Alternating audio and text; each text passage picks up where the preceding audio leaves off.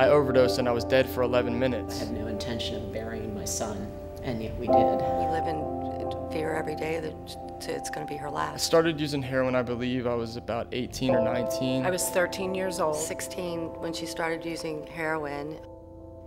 My name is Matt. I started using drugs when I was 15. My daughter Katie, um, 16 when she started using heroin. Um, my name is Katie. I'm 17. I was 13 years old, and it, it was peers. I, I wanted to fit in with my friends. When I was 16, I got a boyfriend who was using heroin. And after like a year of us dating, I finally tried it. Every person's different, and the opiates and the benzos that are out there are deadly. And you never know if you're going to be that one person that tries something one time and then you never get to go back.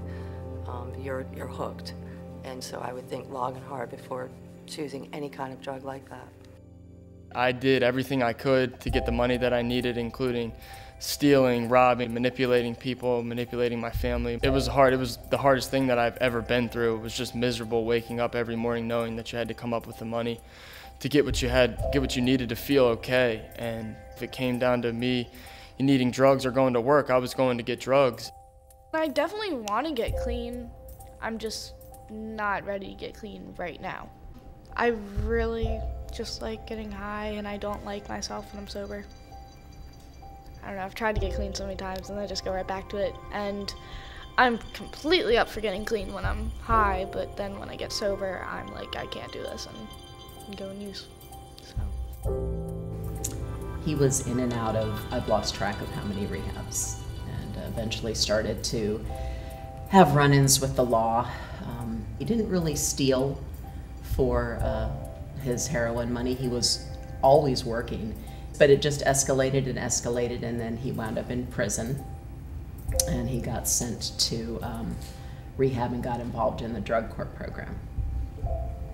And we thought he was doing really well with that. Um, he graduated, but um, 19 days later, he overdosed. In the end, I had burned all of my bridges. Um, I, I had come out of jail and, and I tried to stay clean on my own. Uh, and and I just I couldn't do that. And and for me, the last six months of my using was horrific. Um, I was isolated, and and it came to the point that even though I knew that I needed help, I I was afraid. I was afraid. I was afraid of living with drugs, and I was afraid of living without drugs. And for me, what it took was an attempt at my own life you know, after I started using drugs, my drive and ambition to become anything, you know, later on just went away. And that's affected me now because, you know, I, I haven't I haven't been able to complete college or anything. And um, it's just really, it, it's really taken me on a journey and it almost took my life, you know, about a mile from here. I overdosed and I was dead for 11 minutes. Some lady that was walking down the side of the road with her dog decided to look in my car and she had enough concern to call 911 paramedics got there and they revived me and they said that you know due to my temp- the temperature of my body that I was dead for 11 minutes with no heartbeat. And I got to the hospital and they said I don't know how you're still alive or how you don't have brain damage, but you're here.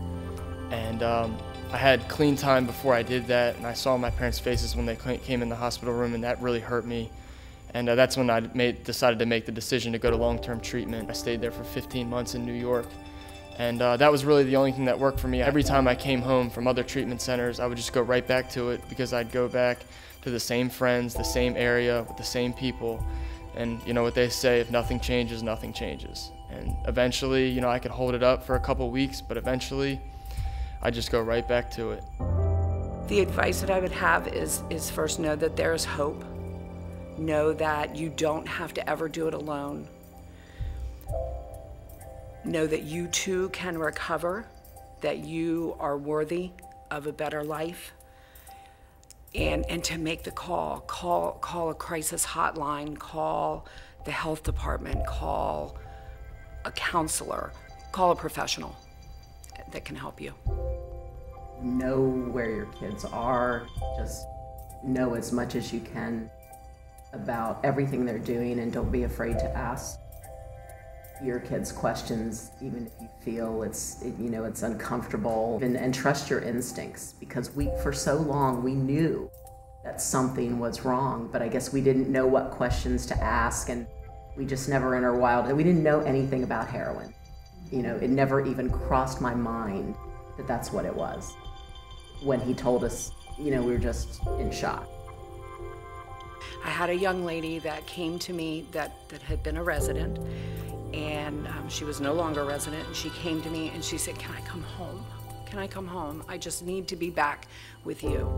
And, um, and I told her, Absolutely, you can. Uh, she was with a group of people, and, and I said to her, go to, go to a meeting tonight. Go to a meeting, don't pick up, and um, call me tomorrow. Call me tomorrow morning when you get up and I didn't hear from her.